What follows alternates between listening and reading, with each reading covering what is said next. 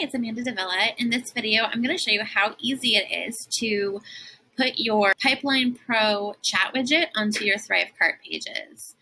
Now, eventually, I plan to have all of my checkouts be in PipelinePRO, but when you are new to PipelinePRO and you already have your ThriveCart um, sales pages set up, then it's really easy just to add that chat widget so you can start having uh, people come into your chat box that way while you're setting up the rest of your PipelinePRO. So when you're in PipelinePRO, you're going to scroll down to where it says chat widget over here. Okay, and there are things you can do to customize it, like you're able to add your own image, you can change the intro message, um, and um, what happens if, if, a repeat customer, a return customer comes to that page. Um, widget window you can change to your custom color and see what that would look like. You can have um, an email field if you'd like, or you can take it away and just have a mobile phone. Um, I like to have both so I can capture both pieces of information. And again, you can change what everything says. And then acknowledgement um, down here, you can see what's going to happen after they send you a message. So there's a lot of really great information um, that you can edit in here.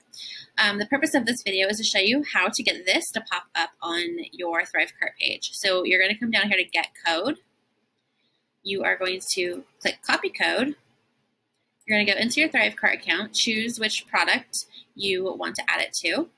Um, I've already added it to most of mine, but I did leave some so I can show you. So I'm going to do this one right here. So I'm going to click edit. I'm going to click checkout, design,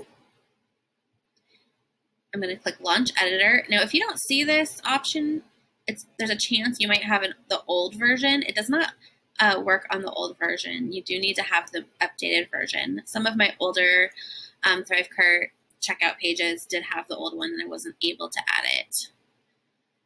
So Launch Editor. And then from here, you're going to have two pages. You'll have your cart page and your success page. I like to add it to both. That way, if someone has a question before they um, purchase, they have access to me. And then also, if they have any questions or trouble after they've purchased, they have access to me. So I like to scroll down, come over here, grab custom HTML. I like to just drop it somewhere at the bottom. It's not going to show up right here. I'll show you what it looks like when I'm done. And then you're going to have your HTML code box. I'm just going to paste that code in, click done. Then I'm going to go to success page, do the same thing. So again, I'm going to grab custom HTML. Grab.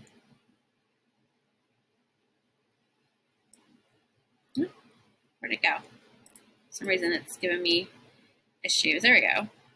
Just gonna drop it there. Again, paste it, done, next. So it's saving it now.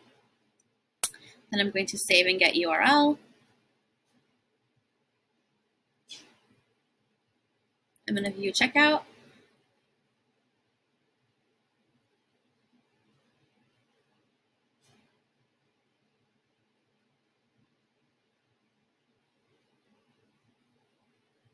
Okay, so now I am on that checkout page and you can see right here that there's a little chat box. If I click on that, it pops right up.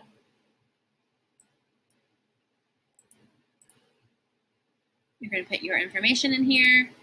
Well, not you your client or potential client, and they're going to hit send. It's going to tell them whatever message you put in here, the default is thank you. One of our representatives will contact you shortly. That is then going to pop up on your phone um, if you have the PipelinePRO app, and you'll be able to respond to that person right away. Um, if you don't have the app and you um, just check on the Pipeline Pro website, that will show up um, under conversations and also under contacts if you go to that person. So you can see here I've done lots of testing with this. All right, I hope this, this is helpful. And if you have any questions, let me know.